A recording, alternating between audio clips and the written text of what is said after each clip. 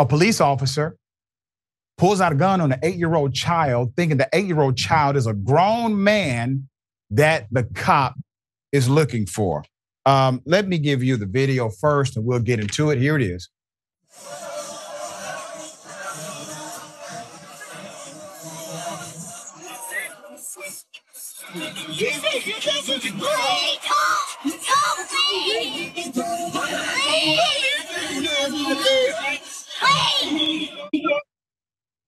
Pulls out a weapon on an eight year old. Put up the picture. You see that small child wearing a football jersey? Well, the cop thought this was a man, a suspect.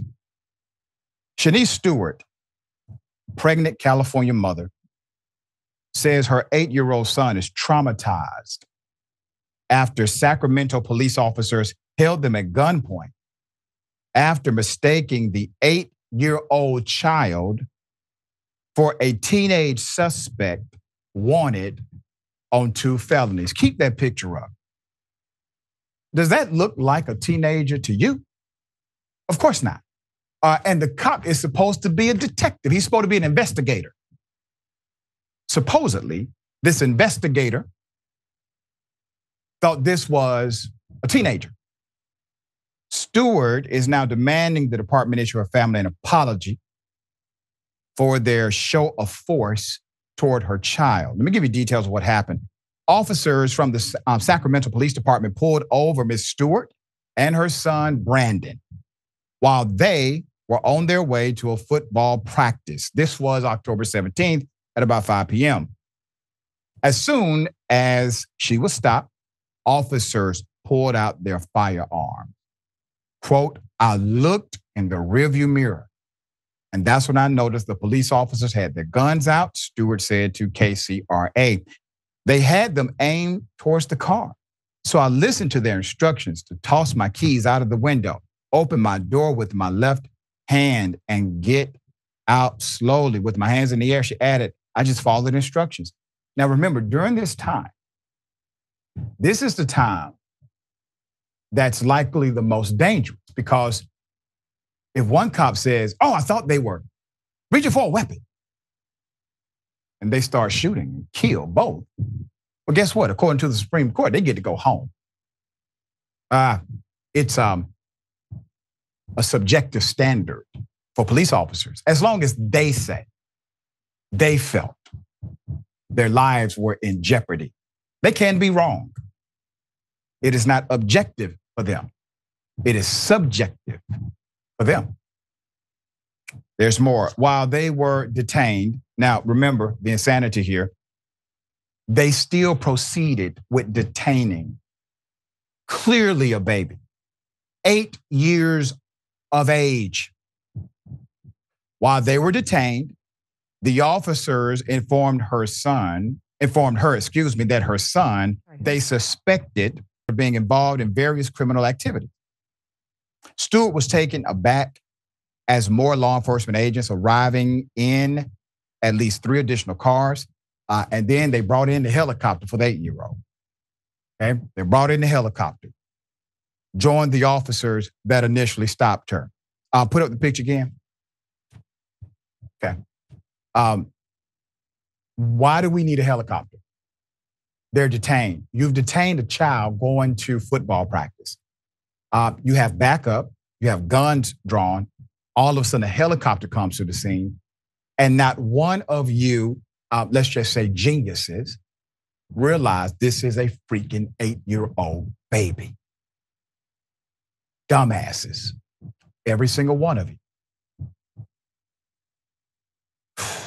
All right. Um, put up his other pictures. Yeah, they thought he was grown damn near, okay? Um, really, my eight year old baby fits the description of the suspect you're looking for. She told KCRA she was thinking, I just didn't, it just didn't make sense to me, she said. She posted on Facebook the police thought her son was a drug dealer. Yes, going to football practice in an eight year old body. And they also believe that this drug dealing eight year old going to football practice child engaged in home invasions in addition to selling narcotics. What? This is all a true story, ladies and gentlemen. This is what the police believed about this eight year old child. According to Stewart, who was also nine months pregnant, during the stop, her son started to shout. Why was he shouting? He was worried about his mother. He wasn't worried about himself, he was worried about his mom. And asked the officers not to take his mother away. In the post, she said she feared for her son's life because the police insisted he fit the description of the suspect.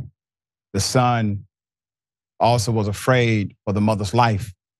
He can be heard in the video screaming to his mother, Please don't leave. Please wait.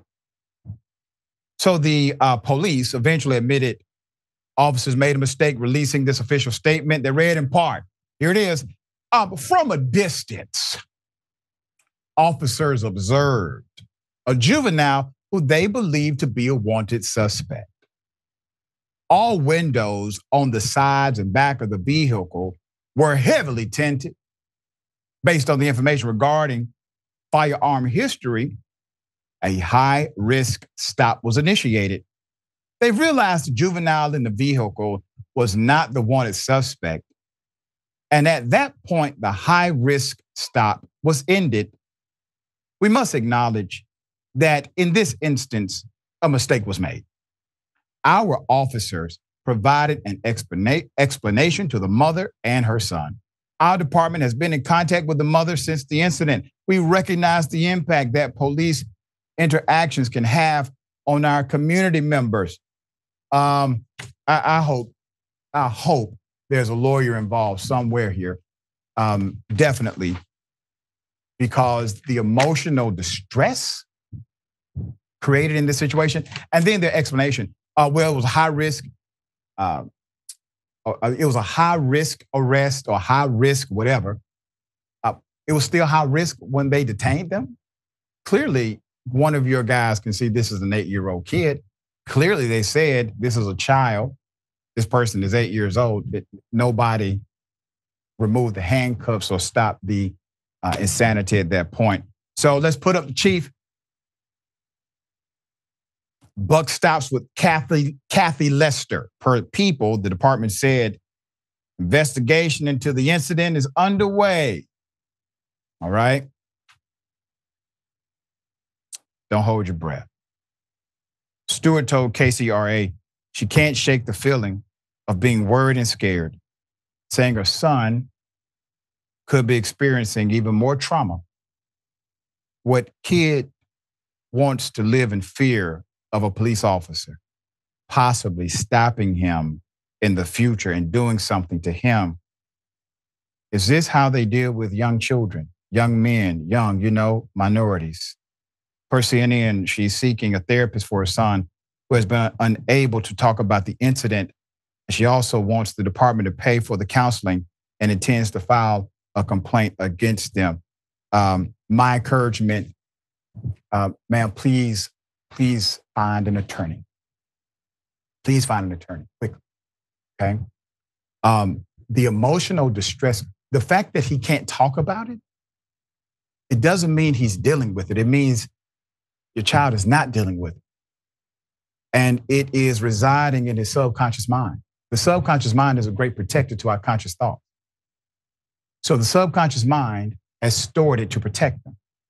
But unfortunately, we are governed by our subconscious thoughts. So, this thing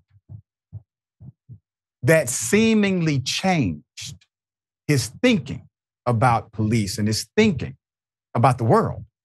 Because remember, he's traumatized because these people damn near took his mother away by force, by weapon, detained his own mom. All right.